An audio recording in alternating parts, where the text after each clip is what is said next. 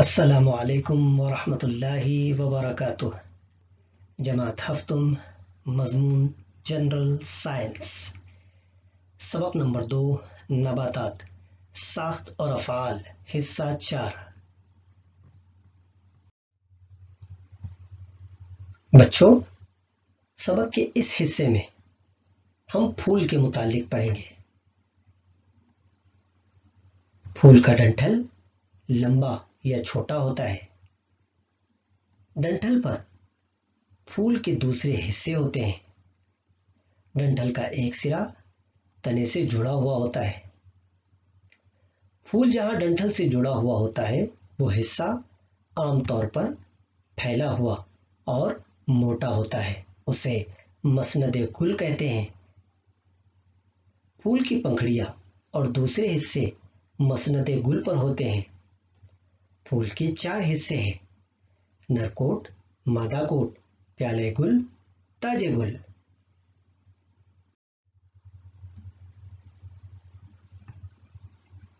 बच्चों, फूल का सबसे पहला हिस्सा प्याला गुल कहलाता है। फूल जब कली की हालत में होता है तो उसकी पंखड़ियाँ हरे पत्तों जैसे हिस्सों से ढकी होती हैं। यह गिलाफ प्याले गुल कहलाता है।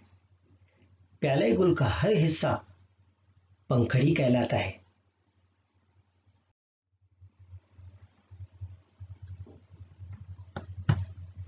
ताजे गुल।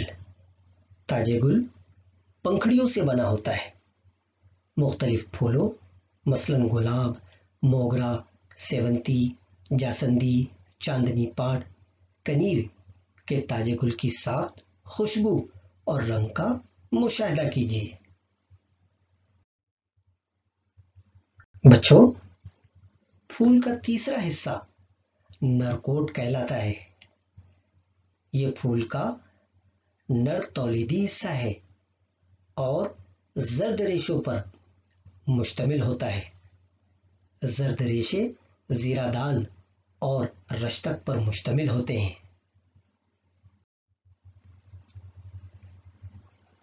फूल का चौथा हिस्सा मादा कोट कहलाता है। ये फूल का मादा तौलेदी हिस्सा है। ये मादगी पर मुश्तमिल है। इसमें कलगी नायगुल और बैजेदान पाए जाते हैं।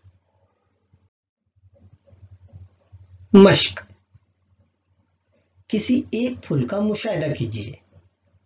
उसके मुख्तलिफ़ हिस्सों का मुशाह करके उसकी वजाहत अपने लफ्जों में लिखिए और शक्ल बनाइए।